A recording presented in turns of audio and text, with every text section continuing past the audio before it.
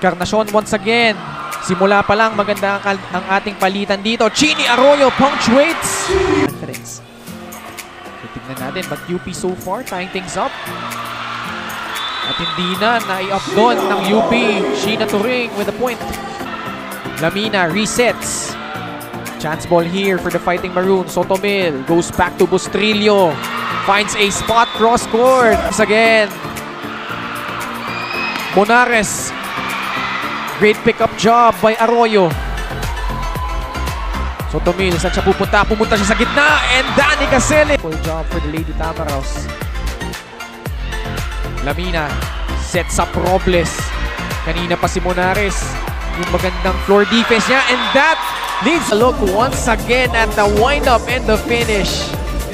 Good angle by Encarnacion. Mga players na. Eh, so parang wag well-rounded. Hindi lang po po sa opensa or opensa lang. Lahat ng aspeto kailangan. Tumil. Dikit sa net. Lamina.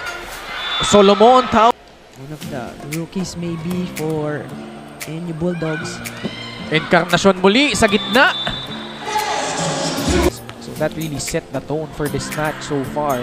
Lamina back set. Uy, nagawa ng paraan doon ni Solomon. To the championship last season. Which is now um, handled by his older brother. Right. Ronald Cruz de Maculangan. Wala. and uh, another from Adamson. So abangan natin yan. Meanwhile, Danny Caceres with a running attack. It's really efficient. Even her service was powerful. Encarnacion cross court. Nierva dug it well. Ces Robles from the back. Camille Cal hinabol yung bola. Bertolano. Nierva muli. Picking it up. Solomon.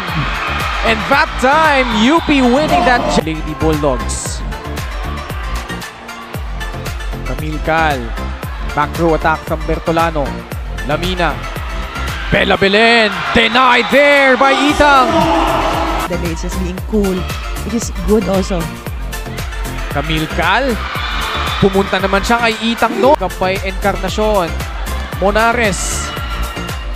Let's see where Lamina will go to. She goes back to Bella. Through the block. Years old. Jump serve.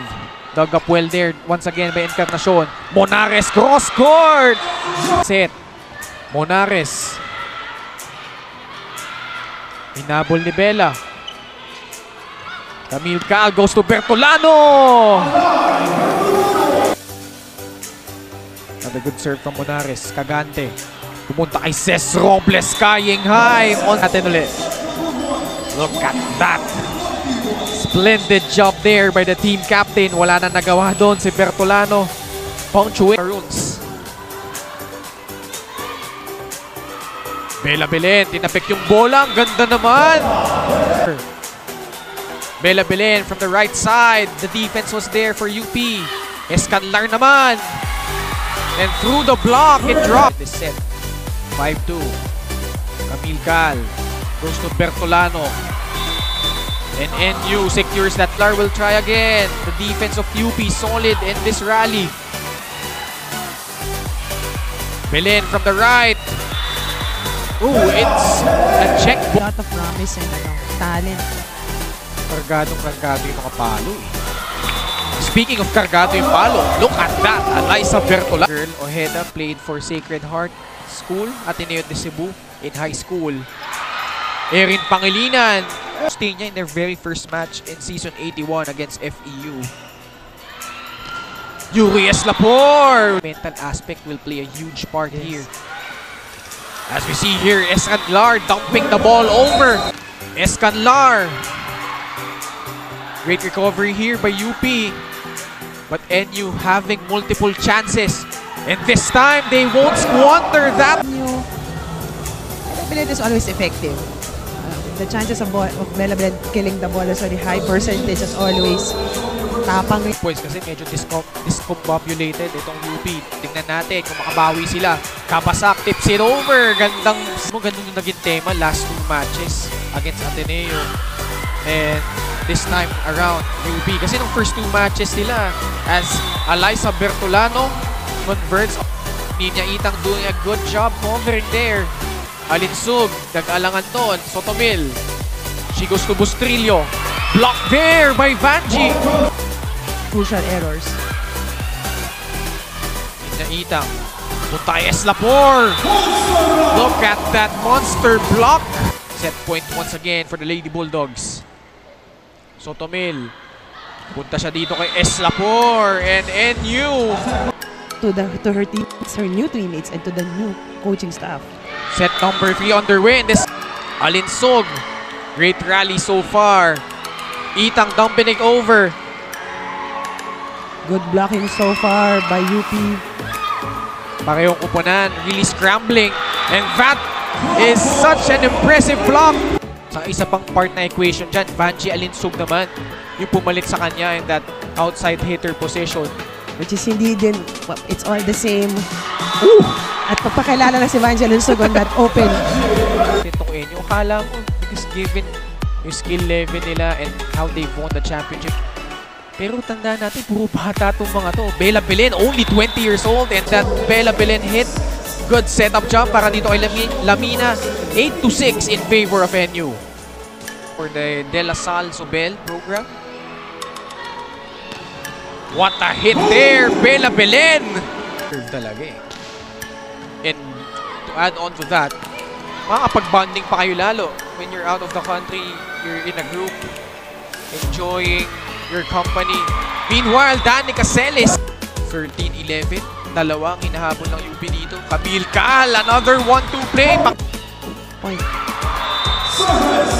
At kahaluan pa na swerte doon, Camille. NU. Camille Cal. Goes to Jewel. Encarnacion. Check ball. It's only a one-point lead for NU. Lamina. Back set. Robles. 17 serving 15. Camille Cal. She goes to Jewel Encarnacion and the team cap. Take a look once again at that spike of the set. And it's brought to you by Potato Corner, world's best flavored fries. Order now. Focus on. We haven't heard much from Eliza Bertolan lang din talaga eh. Once again, good serve. Encarnacion dumping it in. Sika, a point by Encarnacion. So, yun lang yung gusto ni Coach Sak eh. Continue yan. Huwag niyong, ah, huwag niyong ah, pakawalan yung ganyang ano. Trying to close out this match. Camille Cal, quick set to Itang. Itang using her left hand. Good defense by. Camille Cal, back set. Bertolano, tinapik yung bola, pumasok. Good first ball from Robles. Cagante sets up Eliza Solomon. Off the block, it drops. It's off speed. Camille Cal, hinabol. Back to Joan. Cagante, quick set to Turing.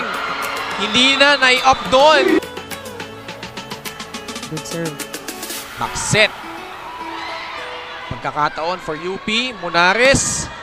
Oh, that is out. And that is it for our match. Pool E 2 and 0.